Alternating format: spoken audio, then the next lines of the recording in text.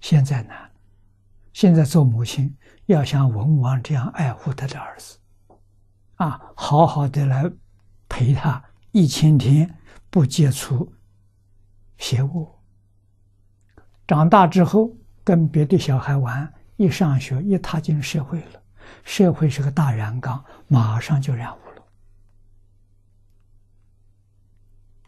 你的心血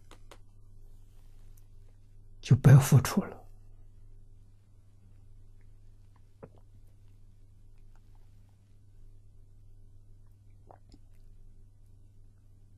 这时候怎么办？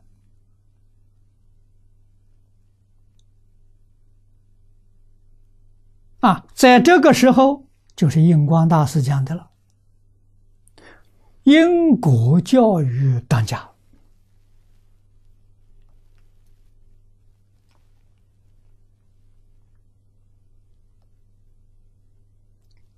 人真正相信因果教育。他有能力辨别善恶，有能力辨别是非，啊，三四岁小孩就有这个能力。他敢不敢去染这个恶习气？不敢。为什么呢？将来有恶报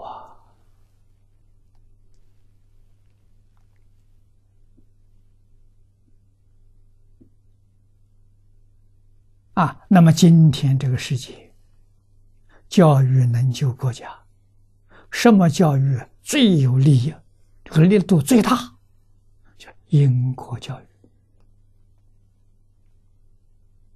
收起现前现世的因果，不要讲过去，过去人家不相信。啊，说人家写小说写的未必是真的，现前的因果报应。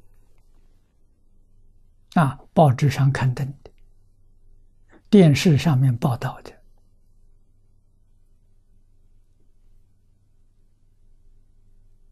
啊，办案人员亲身所见的，这非常有说服力。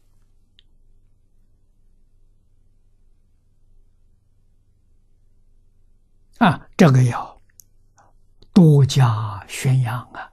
这是救世之道啊！啊，如何挽救世道人心，要从这儿下手。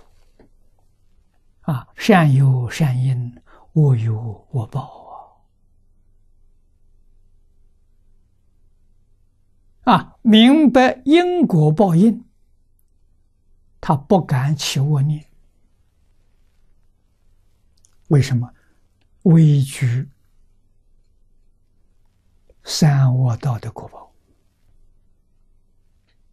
啊，恶念都不敢起，怎么敢做恶事？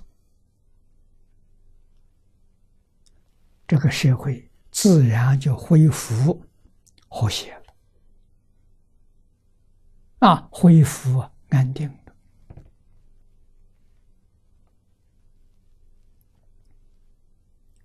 所以，因果教育比什么都重要。